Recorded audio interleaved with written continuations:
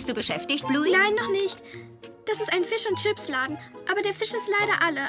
Also gibt es Chips ohne Fisch. Okay, tja, bleib geduldig.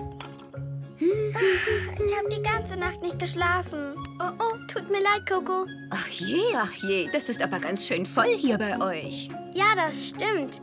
Ich muss wahrscheinlich bald hier ausziehen. Wusstet ihr schon, dass heute ein neuer Fisch- und Chipsladen nebenan eröffnet hat? Hast du das gehört, Roderick? Da müssen wir unbedingt hin. Das sieht gut aus. Ich baue gerade ein Haus. Es wird ein Zimmer unten und ein Zimmer oben haben. Wunderbar. Ich glaube, dass Indy gerade eine neue Wohnung sucht. Hm.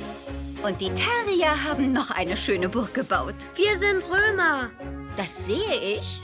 Und ihr seid hier, um euer Königreich zu beschützen? Genau, Calypso.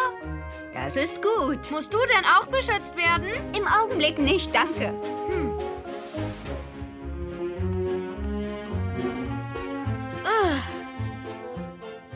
Calypso, kann ich vielleicht bitte jetzt ein Zwerg haben? Lass mich mal sehen.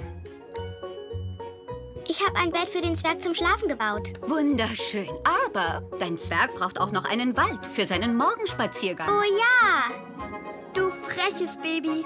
Du bist ganz wunderschön. Hi, Bluey. Hi. Oh, du hast aber wirklich viele Kunden. Oh ja, ich bin voll im Stress. Was ist bei dir so los? Ich ziehe gerade aus. Oh, wo geht's denn hin? Weiß ich noch nicht. Hi, Indy. Willst du mit zu mir in mein Haus ziehen? Ja, Du kannst mein oberes Zimmer für 10 Talerscheine mieten. klasse. Ich habe aber keine Talerscheine. Hm, dann brauchst du eine Arbeit. Ja, ich könnte eine Kellnerin bei Bluey sein. Kannst du dich um Polly kümmern? Klar. Bis dann. Willst du heute lernen, wie man einen Zaun baut, Polly?